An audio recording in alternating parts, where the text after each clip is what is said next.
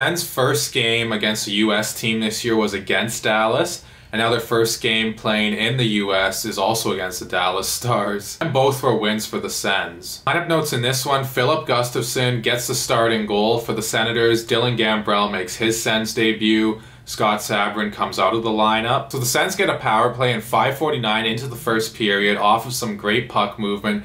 Josh Norris gets a bounce to go his way, it comes to him in front off a Dallas defender, and he puts it home past Braden Holtby to make it 1 0 Ottawa. And they called that goal unassisted, but I don't know. That's a pretty strict way to call it. And I know it went off the Dallas defender in front back to Norris.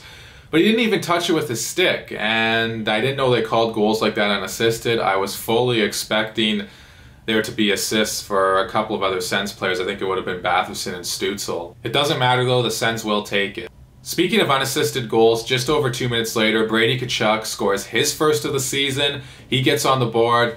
Brady the Tank, Frank the Tank, any way you want to call it. He scores, the Sens are up 2 to nothing, and it was a pretty nice shot by Tkachuk too. And I know I've been very hard on Tkachuk for only seeming to get a lot of kind of so-called junky goals in front of the net.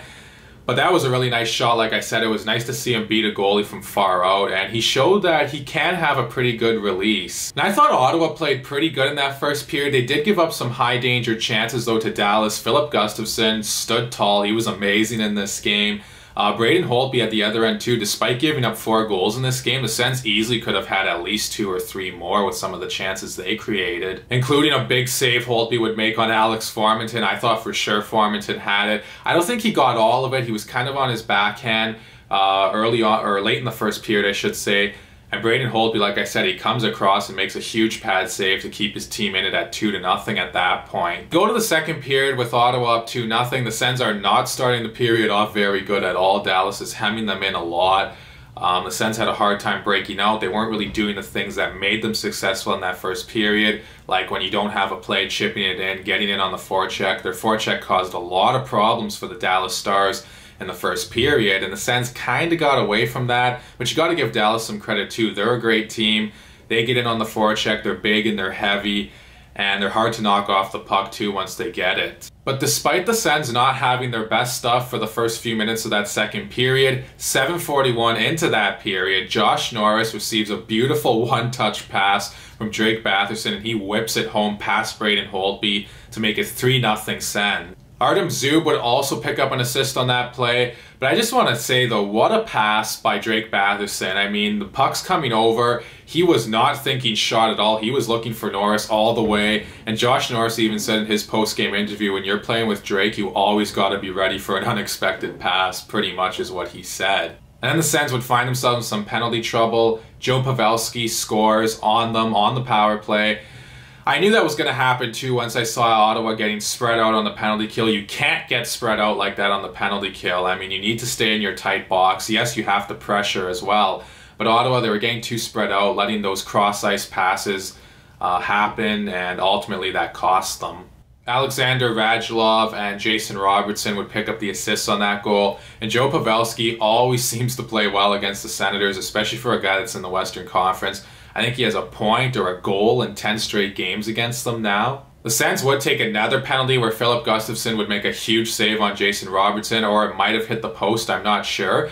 Uh, but with that being said, Gustavsson made a few big saves on Robertson in this game. He came across and robbed him earlier in that second period as well as he would make a big save.